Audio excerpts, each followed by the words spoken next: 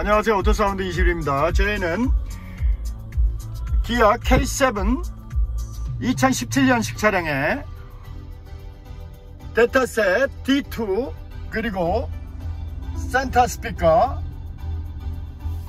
1배라 헤드캡을 장착한 후 동영상을 촬영하고 있습니다.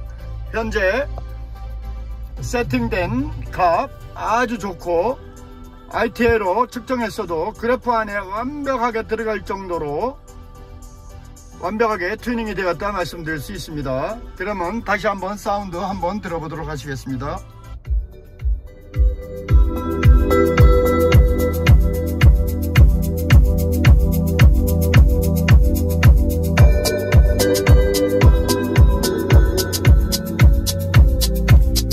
기아 K7 2017년식 촬영했습니다. 감사합니다.